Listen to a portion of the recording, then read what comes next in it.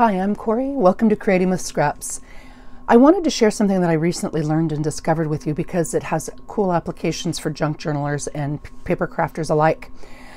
I was finishing up a charcuterie that I was making for an event that's coming up, and the handles that I had selected had this old metal finish, and I couldn't find screws that worked for them. So I did what we all do in 2022 and I went to YouTube and I looked for ways to age metal quickly without necessarily using that, that rust thing that we do with the salt and the vinegar and that kind of a thing.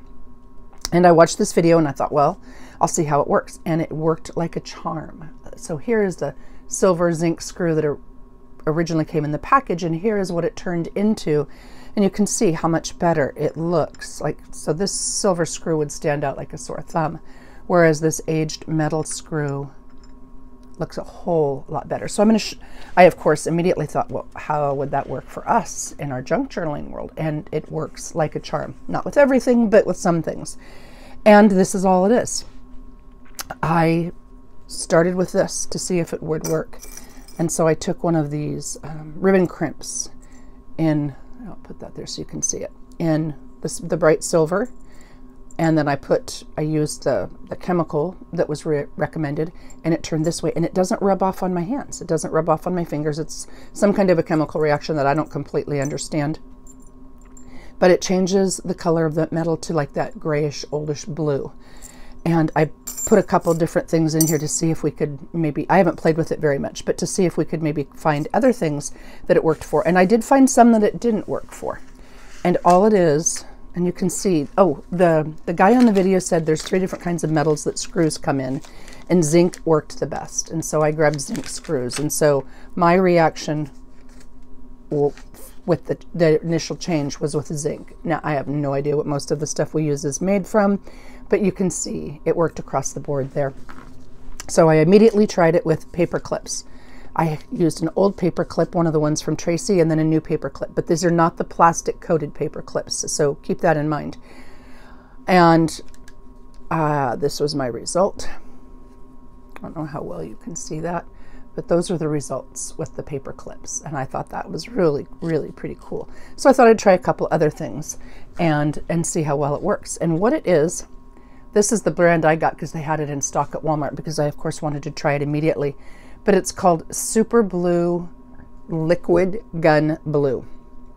And again, they had any place that sells gun supplies and cleaning things and such will have it. Well, if they have it in stock, like Cabela's will carry it, and Amazon carries it.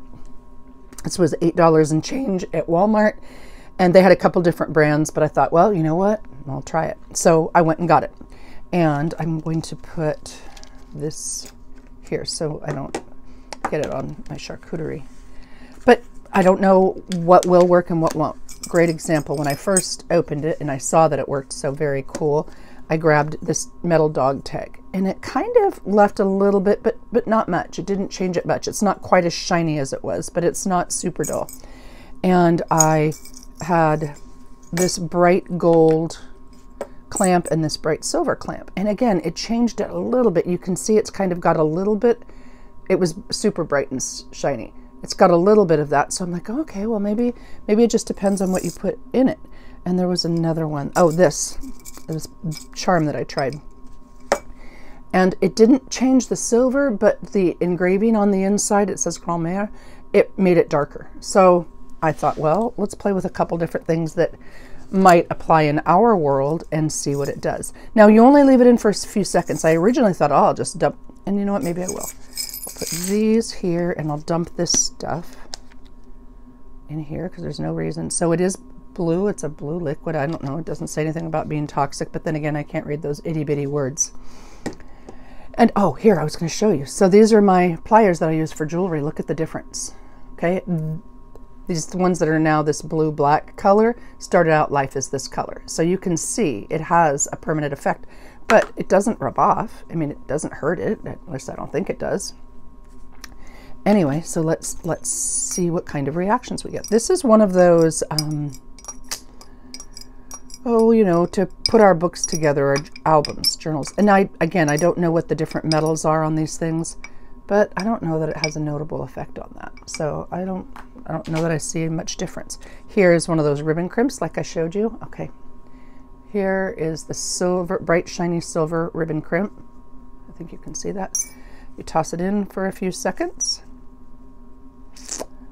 And, okay, why did it not do that? I wonder if it has to do with me putting it in this bowl because it worked yesterday. That is interesting. I wonder. I wonder if it has to not be in the bowl. Maybe it has to be in the plastic bottle. I don't know because look, you can see the difference there. And it didn't it didn't change it. Well, let's try it didn't change it. Well, I guess it's a little no, I don't know that it's a little darker. Let's see. Like I said, I haven't played with it at all. I just dunked them in and called it good. Here's here's another one. This is almost the exact same thing. Let me let me try this. Maybe it has to do with the plastic in the ceramic bowl. So I tuck it in.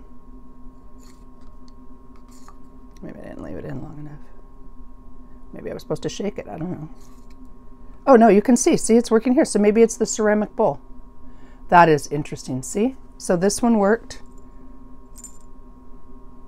You just dry it off. Obviously, you can see a little bit on my hands there, but that, that dries off clear. And then this one didn't. Interesting. So maybe don't maybe don't put it in a ceramic bowl, or maybe these two clips are made with different things, different materials. I don't know. But we won't be using that bowl anymore.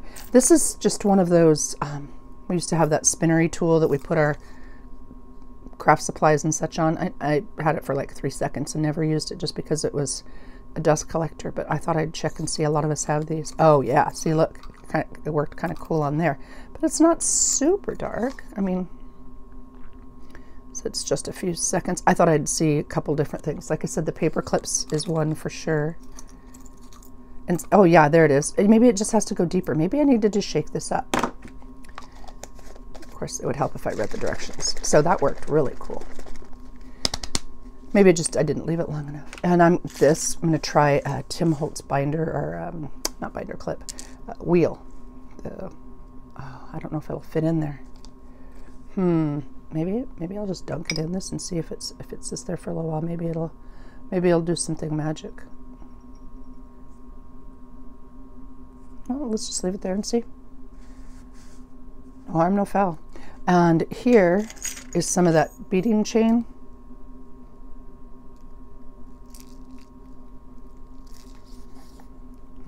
put that in, see? Sorry, I'm, if I'm out of focus.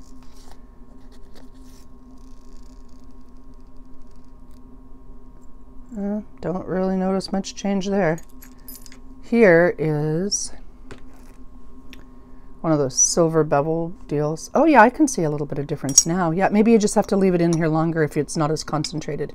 Because look, you can, uh, well, so my hands aren't working too well. But you can see the difference difference here on that. It's not nearly as shiny. It's a lot, a lot more dull. Oh yeah, that's working here. Look, you can see the, the reaction in the bowl. It's making it darker and I don't know how long we leave it in there. But you know what? Let's just dump some stuff in and see. Oh, that one a lot quicker. And here's a charm, a bicycle charm. Let's just dump a bunch of stuff in here. And a letter V, charm. There's a gold one. I thought we'd try the gold one and see if that worked. Oh yeah, I can see the bicycle changing color for sure. Oh, that's cool. Some jump rings. Now, I, I don't know what happens if you leave it in here a long time. I haven't played with it enough. I just got it. Oh yeah, you can see that reaction taking place. And the longer you leave it in, the darker it gets. Look how cool that turned out. Oh, slick. Eh, oh, even the gold one changed color. Look, it's almost black now. So maybe don't leave them in too long. Hmm. I guess it just depends on what it is. Oh, look at that, the scissors. Oh man, that turned out. I'll zoom in, just a minute. I'll take these things back out and I'll, I'll zoom in.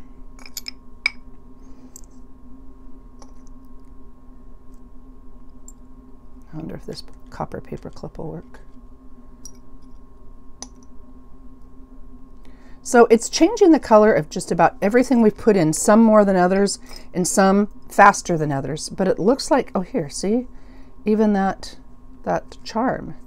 It's darker. It's not as dark as some of the other pieces. So I guess the idea is with different metals, oh, look at that, it's a book charm. Different metals are going to give you different results. Different lengths of time are going to give you different results. Oh, this is one of those eye clips or eye pins. Look, it's black now. How cool is that? And I don't want to say, I don't want to mislead you. These are dark for sure, but I wouldn't call it necessarily black, but it's close to black, like gunmetal black. Now see the, the copper? Well, it's not nearly as bright, but, and then here's the letter V. Yeah, so actually just about everything had a reaction. The reaction changed depending on what metal it was and the length of time that it lived in that, that solvent.